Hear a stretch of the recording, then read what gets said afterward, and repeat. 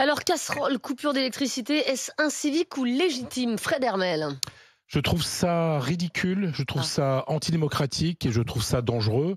Paul vient de rappeler ce qui s'est passé dans une, euh, dans une clinique. Les gens vous disent Mais non, mais il y a un système de secours. Oui, un système de secours, sauf que ça prend 16 secondes à, à se mettre en route et qu'il y avait cinq opérations qui étaient en cours en ce moment-là. Donc j'espère que les personnes qui ont fait ça euh, seront poursuivies. En plus, euh, moi j'ai toujours beaucoup de mal, moi qui défends beaucoup le monde ouvrier, des gens qui s'attaquent aux moyens de production en fait.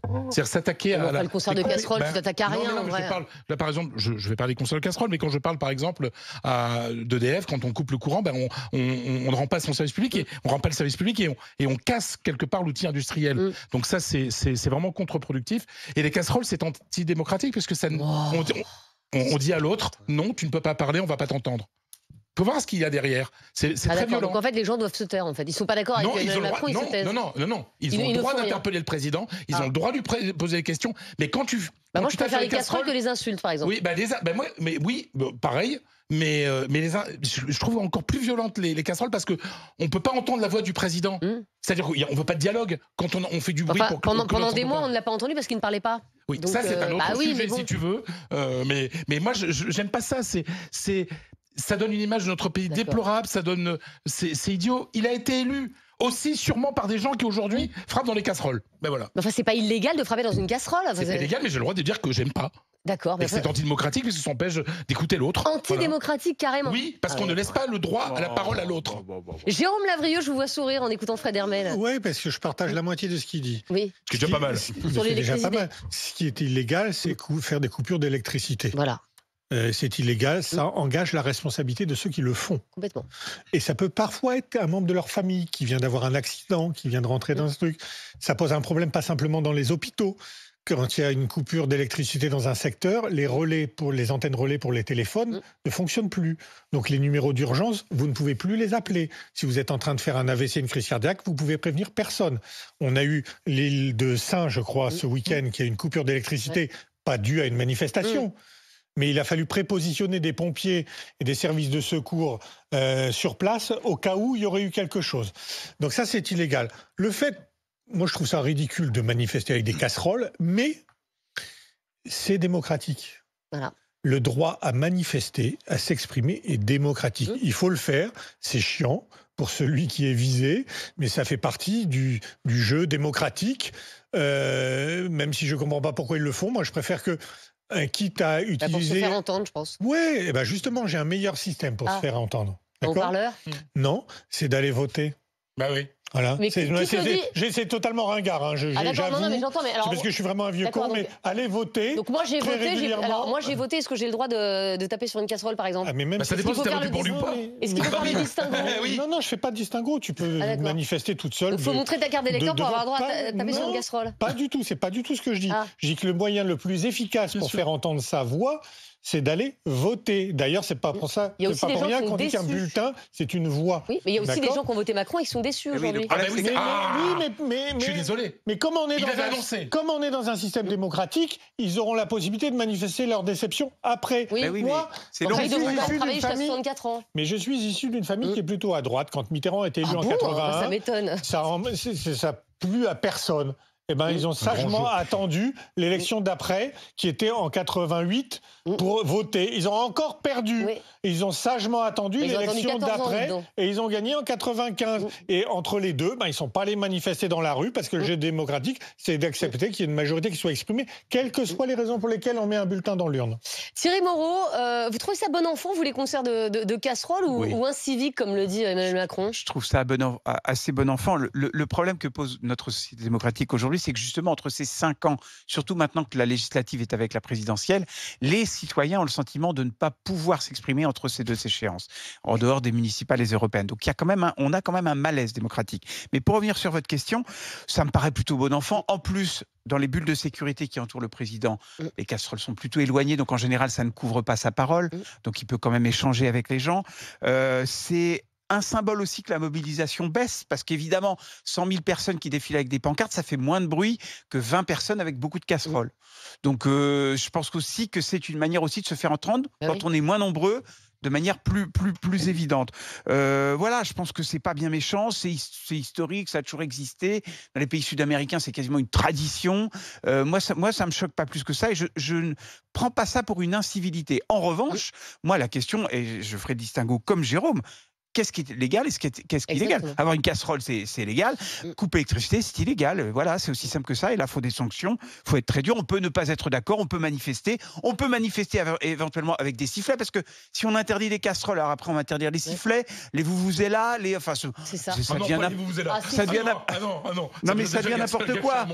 Ça devient n'importe quoi. On peut manifester. On peut même manifester bruyamment. Excuse-moi, mais quand tu habites près de la presse de la République, ce qui n'est pas mon cas, mais je connais des journalistes qui habitent près de la République, quand il y a un camion avec un mégaphone, c'est probablement beaucoup plus énervant que quelques casseroles qui, qui se tapent les unes sur les autres. Donc voilà, je trouve que les casseroles, c'est bon enfant, c'est démocratique, c'est pas illégal. Les coupures, c'est scandaleux, ça met la vie en danger des gens. Et surtout, là, on, on, on, passe un cap. C'est-à-dire qu'on ne fait pas que protester, on empêche des gens de travailler, d'avoir de l'énergie, etc. C'est ça. Alors, alors Sophie Binet, hein, qui est euh, patronne de la CGT euh, désormais, euh, a, dit que la CGT n'avait rien à voir, en tout cas dans les, récentes coupures. Non. ils avaient dit ça aussi l'autre fois. La dernière fois, ils avaient dit ça l'autre fois, puis après, ils avaient reconnu, ils avaient distribué des chocolats dans, la, dans le l'EHPAD où il y avait eu la coupure. Oui, bah, écoutez, là, en tout cas, ce matin, chez Apolline de oui, oui, je suis d'accord. Sophie a dit que c'était, c'était pas de la faute de la CGT. Vous avez des messages, Paul, sur la pierre MC Oui, ce message de Jean-Christophe qui nous dit bonjour, pas d'autre solution pour contester malheureusement. Alors c'est démocratique car c'est la seule manière pour nous de contester la politique d'Emmanuel Macron. Et pour Rob, c'est la faute hein, d'Emmanuel Macron pour les casseroles et les coupures de courant qui sèment le vent, bah, récolte la tempête. On est avec Pascal, c'est notre premier auditeur aujourd'hui qui nous appelle de Lamorville dans la Meuse. Bonjour Pascal. Bonjour, bonjour. Bonjour. Pascal, euh, pour vous, c'est légitime ou c'est un civique ces concerts de casseroles euh, à chaque fois qu'Emmanuel Macron passe quelque part? Bah écoutez, je suis justement devant mes casseroles. Euh... oui, mais c'est parce que c'est l'heure du déjeuner. Mais, ben oui, je suis en train de préparer à manger pour ma femme qui travaille encore, euh, malheureusement. Ah, c'est bien ça. Qui a, pris, qui a pris deux ans euh, de plus hein, euh, pour la, la, comment, la retraite. Mais bon, la, réforme n'est pas encore passée, donc je, je, crois que pour votre épouse, ce n'est pas, pas de la faute d'Emmanuel Macron là pour le coup. oui, enfin bon, moi de toute façon, comme je l'ai dit précédemment, je ne peux même plus le voir en photo. Même en ah. photo, je peux plus. Non, non. Ah bon? Moi, bah non, une personne qui manque de respect, euh, qui traite les Français de feignants dans sa globalité, hein, puisque de toute façon c'était son discours. Hein. Euh, moi, j'ai appris beaucoup avec l'armée, euh, la mhm. droiture et le respect. ben là, vous voyez, ce personnage, il, devrait faire un petit stage de quelques mois à l'armée, ça lui ferait du bien. Parce que franchement, ah oui, oui, oui, non, non, mais moi, je, je, vous dis, je peux plus le voir, je peux plus l'écouter, même à la radio. J'attends, vous savez, les discours qu'il fait la veille, je, je les écoute pas, j'attends que le débrief des journalistes. Comme ça, j'en ai qu'une petite partie, et puis peut-être, un temps soit peu, une critique de certains journalistes qui euh, va dans mon sens ou dans l'autre, hein, peu importe, mais au moins qui met à jour euh, les, les, erreurs et les, les, bêtises, pour pas dire les conneries qui peut nous sortir. Mais Pascal, vous vous êtes allé manifester? Ah ben moi j'ai déjà manifesté plusieurs fois. Euh, bon enfant, hein, bien sûr, pas de casserole hein, pour l'instant, euh, parce que je fais gaffe quand même. Hein, c'est des ustensiles qui coûtent cher. mais mais euh, je, ouais ouais, je vais certainement y retourner, ouais ouais ouais, ouais, parce que j'en ai marre. le problème, vous voyez, c'est qu'on a les élections et les législatives aussitôt. Moi, ce qui serait bien, c'est qu'on est à mi-mandat des législatives. Comme ça, au moins, on pourrait ouais, euh, à dégager. Ouais, mais c'est comme aux États-Unis les mid-term, mais, euh, mais, mais ou comme sous Mitterrand, hein. ça, il y a des cohabitations parce qu'il y avait des législatives, pas en même temps que les. Et ça risque d'être encore plus, euh, encore plus ingouvernable. Mais merci Pascal en tout cas pour ce. Bah si, parce que si vous vous retrouvez avec une, une, une majorité, là déjà c'est à moitié ingouvernable. Alors si en plus euh, vous, avez une majorité euh, qui est, euh, qui est opposée au, chef de l'État, bon là c'est fini quoi. Bah, vous voyez, moi quand, quand, Mitterrand est passé, mm. la, la, première fois, bah, bon, moi j'avais voté à l'opposé, j'ai toujours voté à mm. droite, hein, mais bon maintenant je m'aperçois que je vais finir communiste. Hein. mais, Souvent c'est l'inverse, mais bon. Mais, mais, en même temps, quand, quand, quand j'étais jeune, encore je connais pas grand, je connaissais pas grand chose à la politique, et, et, quand Mitterrand est passé, bon, bah, je me suis dit bah c'est tout, on va faire avec on va le laisser bosser. Et, quand il y a eu les législatives, bah, bah, c'est passé à droite. On se dit, bah, attendez, les Français ne savent pas ce qu'ils veulent. Et on l'a pas laissé à droite cinq ans après. Oui, voilà. Pas, pas, tout de suite. Et là, cinq ans après, c'est la fin du mandat. Donc en fait, euh, euh, c'est voilà, ça, ça, ça, donne ça. Élection présidentielle, élection Avant, législative. Avant, c'était tous les sept ans, le président. Maintenant, c'est tous les cinq ans. Merci en tout cas, euh, Pascal, d'avoir été avec nous. Notre invité sur ce débat, c'est Raphaël Prado. Il est porte-parole d'Attaque France. Ah. Bonjour, Raphaël. Bonjour. Et merci d'être avec nous dans, Estelle Midi. Euh, j'imagine que ça vous a agacé euh, l'interview d'Emmanuel Macron disant que les concerts de casseroles, c'était de l'incivisme bah, Écoutez, ça fait quatre mois qu'on vit un mouvement historique contre la réforme des retraites et qui a le malheur d'être très populaire. Hein. Euh, c'est-à-dire que non seulement. De moins en moins. Ah bah, je ne sais pas, il y a toujours 9 actifs sur 10 qui sont opposés à la réforme et une grande majorité des Français qui soutiennent le mouvement. Et c'est vrai que ce mouvement, il a été populaire et là, on voit bien qu'on est à un tournant et que Macron essaye de faire ce qu'il peut pour le rendre impopulaire en, pointant du doigt euh, quelques actes. Mais bon, moi, si l'incivisme, si, si euh, les casserolades, c'est un civique, je voudrais qu'on revienne sur le terme de civisme. Hein. Le civisme, c'est l'attachement du citoyen à la cité. Quand les, quand les euh, gens descendent dans la rue pour se faire entendre avec des casseroles, je ne vois pas bien où est l'incivisme. À la limite, si vous me dites que quand les ultra riches fraude le fisc qui pratique les raisons fiscales, c'est de l'incivisme, je veux bien. Quand Patrick oui, Bailly fait croire qu'il a quitté sa femme pour échapper à l'impôt, c'est de l'incivisme. Ça, je veux bien. Par oui, mais Raphaël c'est pas, pas le même sujet. Vous le savez bien. Bah, en tout cas, euh, je reviens sur le terme, sur la question, sur le civisme. Je ne vois mm. pas en quoi ça serait incivique de sortir dans la rue et manifester. Alors par contre, s'il veut nous dire par là que c'est une forme de manque de respect pour sa fonction, effectivement, et ça rejoint un peu ce que vient de dire votre auditeur, depuis six ans, Macron maintenant nous a tellement servi son mépris euh, c'est son, son, son, son, incapacité à entendre ce que dit la population, parce que là, encore une fois, hein, on a des millions de personnes dans la rue, on a des millions de personnes qui font grève. Il a quand même non, mais là, Raphaël il n'y a, plus des millions de personnes dans la rue, vous pouvez pas dire ça. Au début, il y a eu des millions de personnes dans la rue, mais là, c'est plus le cas. Ben, ah ben, lundi prochain, c'est le 1er mai. Bah, ça, évidemment, une fois par an, il y, a, y, a un million de personnes dans la rue, mais et déjà, un, c'est pas sûr. Mais, mais ensuite, vous dites, on veut se faire entendre avec ce concert de casserole. Mais vous faites entendre un bruit. Mais je vous faites pas entendre vos revendications avec un concert de casserole. Bah, je pense que tout le monde comprend bien que la revendication, c'est non à la réforme des retraites et pour la retraite à 60 ans. Et euh, ah. ce qui s'est passé dans la séquence. Euh, la retraite à 60 ans, je suis pas sûr. Hein. Emmanuel Macron a voulu euh, intervenir lundi dernier à la télé en disant c'est bon, c'est fini, maintenant on est passé à autre chose. Hum. Réponse on est dans la rue avec des casseroles. Pendant toute la semaine, Macron et ses ministres sont allés intervenir un peu partout en France pour dire on passe à autre chose. Réponse des concerts de, de casseroles partout qui les attendent. Ce soir, à l'occasion des un an de l'élection de Macron, mm. on en est déjà sur le site d'attaque à 375 concerts de casseroles qui sont recensés partout en France. Oui, mais il y a combien de personnes, Raphaël Il y a combien de personnes à chaque fois Il y a un effet loupe aussi des médias. Bah quand, il y a des millions de personnes dans la rue, euh, c'est pas significatif. mais si, il y a des bah, bien sûr que si, c'est significatif. On a été les premiers à le dire euh, dans cette émission. La mobilisation, elle a, elle a, été incroyable au début, mais elle s'essouffle. Vous pouvez me dire ce que vous voulez, Raphaël Prado, même les chiffres de la CGT s'essoufflent. Non, mais je ne dis pas qu'il n'y a pas une baisse du nombre de manifestants, mais ah. je vous pose la question. Si je ne sais pas si vous, vous avez fait grève, mais pour les Français qui ont fait 10, 11, 12 jours de grève, eh bien oui, forcément, au bout d'un moment, on cherche d'autres formes d'action qui sont moins coûteuses. Ah non, mais celle-là, celle nous, on, enfin, certains, certaines personnes sur le plateau défendent le fait que ce soit, ce soit bon enfant. Effectivement, euh, vaut mieux ça que, jeter, des œufs, insulter. Euh, je, suis d'accord. Et puis en plus, c'est historique. Euh, il y a Jérôme Lavrieux qui voulait vous répondre, Raphaël. Oui, moi j'aime bien quand on balance des chiffres. Il y a 350, déjà, c'est pas vérifié.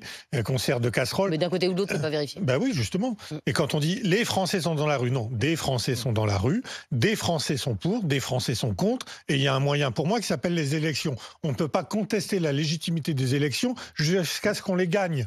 Parce que sinon, ça pose un vrai problème démocratique.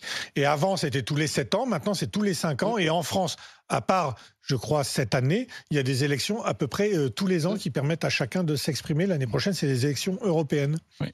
Et, pour surfer sur les, sur les élections, Raphaël Prado attaque, je vais encore de vérifier, vous aviez appelé à voter Emmanuel Macron au deuxième tour il y a un an, alors que vous aviez pertinemment qu'il avait prévu, qu'il avait prévu 65 cette réforme des retraites. Non mais arrête, non, mais, non, mais, non, t'es pas honnête, t'es pas honnête Fred. mais, tu, mais tu te doutes bien qu'attaque, ils appellent à voter Emmanuel Macron contre Marine Le Pen, pas pour le bah, projet. Mais non, mais sois honnête. Euh, mais non, mais Fred, euh, tu bah non, mais il faut, je pose la question à Monsieur bah, Prado. C'est tout vu.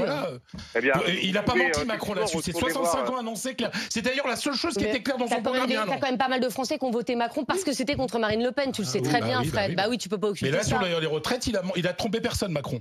Mais oui, mais tu peux pas occulter ça. Il y a des gens qui ont voté Macron, ils n'étaient pas pour Macron. et, s'il y avait eu quelqu'un d'autre au second tour, ils auraient pas voté Macron. Comme attaque, il faut je suis d'accord euh, avec toi, Estelle. Mais il y a juste un truc, c'est que Mélenchon. Mm. Euh, sauf si je me suis trompé, euh, il n'a pas franchi le premier tour. Ah non, mais c'est d'accord. Euh, je suis d'accord avec toi. C'est totalement anecdotique, mais il n'a pas franchi le premier tour, alors qu'il aurait pu franchir le premier tour si les gens avaient voté pour lui.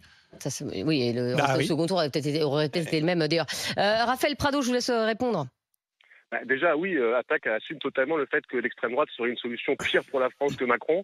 Et oui, nous étions bien au courant que Macron avait prévu de nous voler euh, deux meilleures années de retraite.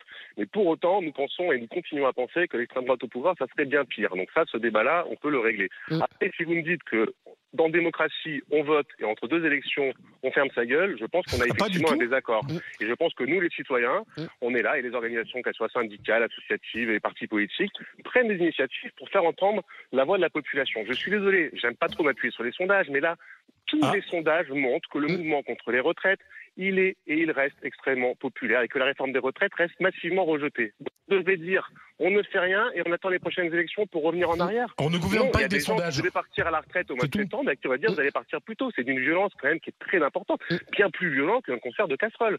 Donc je ne comprends pas bien l'argument qui consisterait à dire puisque de toute façon euh, vous appelez à voter Macron, maintenant fermez votre gueule. Voilà. Je, ne mais pas, du tout. Vous avez le bah, droit de l'ouvrir et faire du bruit avec des casseroles, bah, mais il y a une légitimité supérieure qui est celle due aux élections.